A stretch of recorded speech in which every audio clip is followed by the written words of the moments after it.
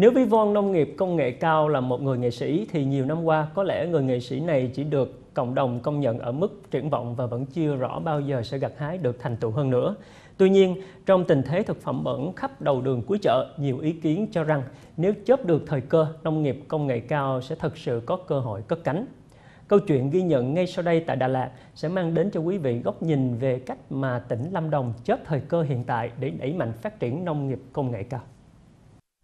Đây là một góc khu nhà trồng xà lách của Hợp tác xã Xuân Hương tại phường 9, thành phố Đà Lạt, tỉnh Lâm Đồng. Năm 2004, hợp tác xã này được Sở Khoa học và Công nghệ Lâm Đồng hỗ trợ chuyển giao và ứng dụng công nghệ cao và trồng trọt.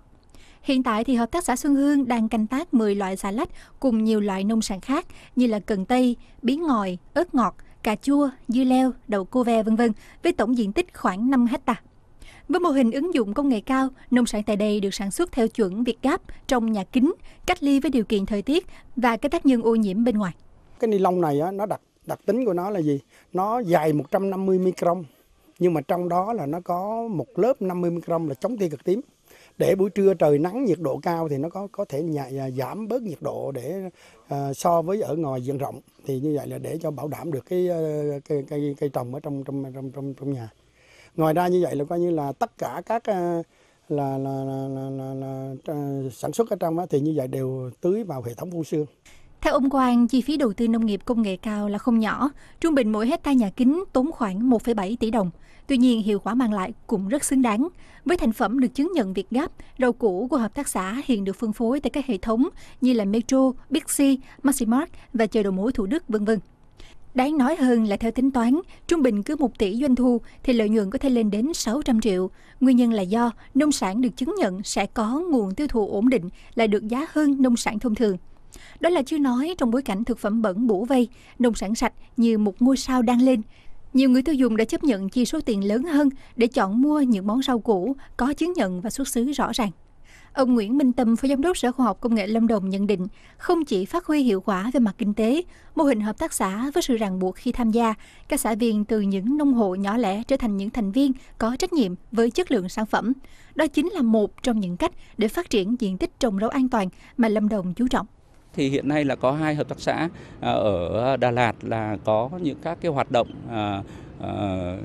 Ờ, sản xuất ờ, nông nghiệp ứng dụng công nghệ cao là tương đối thành công như là hợp tác xã Xuân Hương và hợp tác xã Anh Đào. Các cái hợp tác xã này thì là theo cái mô hình hợp tác xã kiểu mới, tức là cung ứng các cái dịch vụ ờ, về nông nghiệp à, như là à, các cái vấn đề kỹ thuật rồi vật tư và kiểm soát trong cái quá trình và đảm bảo cái bao tiêu sản phẩm. À, qua những các cái mô hình đó thì à, qua qua các cái cách thức làm như vậy thì là à, bản thân xã viên thì người ta cũng có các cái quyền lợi và người ta có cái trách nhiệm cái nghĩa vụ à, liên quan đến cái việc là đảm bảo các cái chất lượng sản phẩm. Hợp tác xã đã sản xuất theo là quy trình Việt Gáp. Thì thành các thành viên lao động thì đã được tập, tập huấn tất cả đều có chứng chỉ kể cả đi tập huấn về cái an toàn vệ sinh lao động à, là coi như rồi kể cả được là các ngành chức năng là um, cấp giấy chứng nhận là kiểm tra và cấp giấy chứng nhận là đủ điều kiện sản xuất là vệ sinh an toàn thực phẩm trên đồng ruộng và kể cả trên sơ chế. Hiện tại, Lâm Đồng có 212 cơ sở với hơn 1.900 hecta canh tác được cấp chứng nhận Việt Gáp. Không dừng lại ở đó, ở bước cao hơn, tỉnh này đã hình thành mô hình chuỗi cung ứng nông thủy sản an toàn với bước đầu là 17 cơ sở được công nhận. Mặc dù có điều kiện và mức độ nông nghiệp phát triển hơn nhiều địa phương khác, nhưng Lâm Đồng cũng bị hạn chế bởi đặc điểm chung của nền nông nghiệp Việt Nam là sản xuất nhỏ lẻ manh mún. Và đây cũng chính là một trong những nguồn cơn của vấn đề khó kiểm soát chất lượng an toàn sản phẩm. Do đó, việc thu hút được các nông hộ tham gia vào các mô hình liên kết sản xuất, liên kết chuỗi, vân vân sẽ là lời giải từ gốc cho câu chuyện an toàn vệ sinh thực phẩm sản xuất nông nghiệp mà hiện nay ấy, là nếu mà dành hẳn một cái quỹ đất ờ, riêng ra và đầu tư chuyên về cái đó thì không không phải luôn luôn là sẵn sàng. Mà hầu hết là dựa trên cái cơ sở là uh, cái các cái doanh nghiệp người ta có một cái quy mô nhất định sau đó rồi là tổ chức liên kết lại và tôi nghĩ rằng là đấy có thể là một cái hướng uh, có lẽ là phát triển phù hợp. Bởi vì hầu hết các cái nông hộ của chúng ta hiện nay là quy mô nhỏ. Nhưng mà làm như thế nào để tổ chức họ lại và liên kết lại thì uh, đấy là cả một vấn đề. Song song với việc phát triển các mô hình liên kết, việc ứng dụng công nghệ cao để sản xuất nông sản sạch cũng được Lâm Đồng triển khai khá linh hoạt. Những cái vấn đề về uh, sản phẩm nông nghiệp mà đảm bảo an toàn và đảm bảo chất lượng để cho người tiêu dùng. À, À, thì là bây giờ cũng đang là một cái vấn đề rất là nóng bỏng. Mỗi lần khi có các cái tiến bộ kỹ thuật à, được đưa ra thì hầu hết là người dân là hưởng ứng à, rất tích cực. Mặc dù là như chúng ta biết là mỗi nông hộ thì cái cái diện tích và cái quy mô canh tác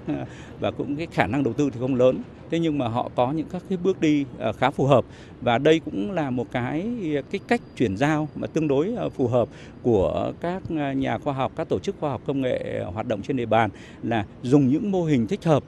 và từng bước nâng cấp lên chứ không phải là đưa ngay một cái mô hình thật là tiên tiến mà người dân không có khả năng à, tiêu thụ được.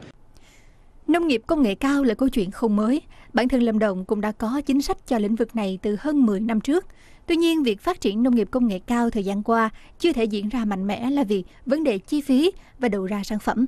Tuy nhiên, trong giai đoạn tranh túi tranh sáng của thị trường thực phẩm hiện nay, thì nhiều ý kiến cho rằng hơn bao giờ hết, nông nghiệp công nghệ cao đang hội tụ cả ba điều kiện về thiên thời, địa lợi và nhân hòa để cất cánh và chiếm lĩnh thị trường.